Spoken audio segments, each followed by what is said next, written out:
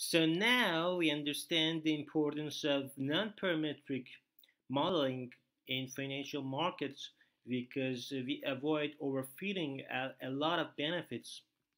So Gaussian process is just one of ways that you can do non-parametric modeling.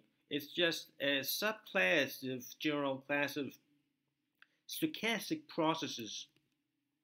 So again, we are we have a causal model but now we are interested in modeling with Gaussian process instead of general, instead of previous linear regression uh, that we did with just some overfitting and uh, many problems that arises when you're doing some parametric modeling. But now we, we, we because there are some uncertainties, we try to do some belief propagation you know, in graphical models, there are lots of ideas about why message passing is important, and so we model it with some Gaussian process. So we have a 10 observation in each training set and four variables. Our variables could be USD CAD, Euro USD, and the dependent variable is GBP USD. But because it's just like a random Markov field, it varies. So it's not fixed, but you know the boundary of that, you know, that uh, we are not fixing it, but you know the boundary of that. So we model it with, with covariance. So uh, we have some posterior.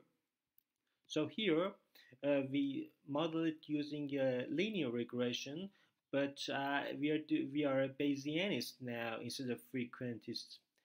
So we say, for example, which with uh, which confidence are you saying that uh, V is some particular number? And we calculate the posterior. So another idea is using projection as we did in support vector machine we project inputs into feature space and we encode uh, all the knowledge with those kernels. A good kernel uh, could be just like this. We have A and L and they are hyperparameters. It means that they can uh, be used for uh, to scale it both horizontally and vertically. So we divide our training set uh, we, are, we divide our data set into training set and test set. And uh, using a simple math, you could just read. Uh, if you condition in y2, you can just read y1 and predict it. But the problem arises when when you have a big data. We are in the world of big data, so we, it's very difficult to invert C each time. So uh, there are some tricks that we, we can reduce the space. You can use uh, less data set, less training data, but we can choose those training data very intelligently so that in order to reduce the complexity and represent it with just simple simple training set that represent the Gaussian process. So there are some there are different articles most uh, there are four important articles about how to reduce and make uh, some sparsity. So uh, we have uh, so we have a data set and we are doing KL divergence.